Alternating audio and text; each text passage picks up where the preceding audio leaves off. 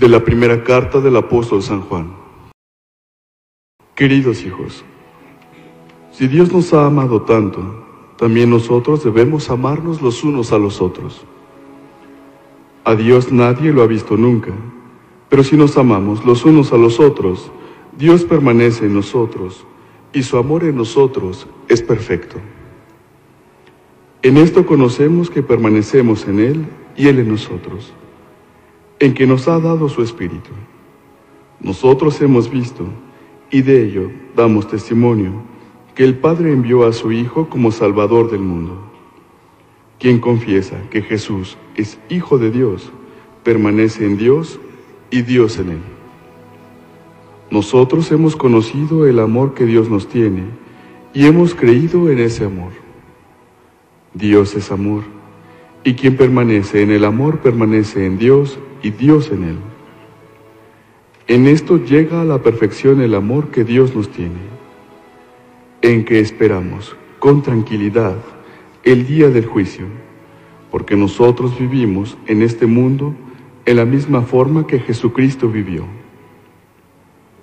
En el amor no hay temor, al contrario, el amor perfecto excluye el temor, porque el que teme mira al castigo y el que teme no ha alcanzado la perfección del amor.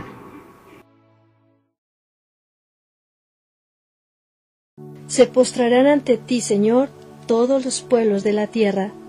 Dios mío, confía tu juicio al Rey, tu justicia al Hijo de Reyes, para que rica a tu pueblo con justicia, a tus humildes con rectitud. Se postrarán ante ti, Señor, todos los pueblos de la tierra.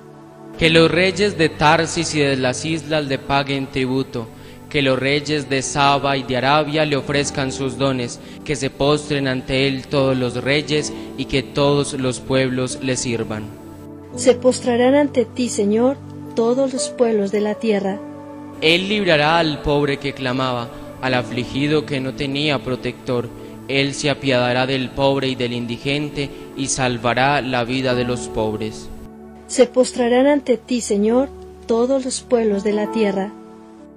Evangelio según San Marcos.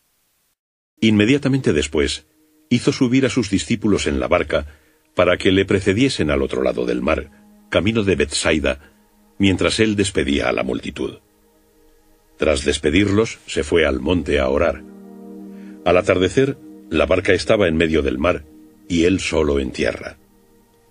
Viéndolos navegar con fatiga, pues el viento les era contrario, hacia la cuarta vigilia de la noche, viene a ellos caminando sobre el mar, y hace ademán de pasar de largo. Ellos, al verle andar sobre el mar, gritaron pensando que era un fantasma. Todos lo vieron y se asustaron, pero él enseguida habló con ellos y les dijo, Tened confianza, soy yo, no temáis. Y subió a la barca con ellos, y cesó el viento. Y quedaron mucho más asombrados aún, pues no habían entendido lo de los panes, ya que sus corazones estaban obcecados.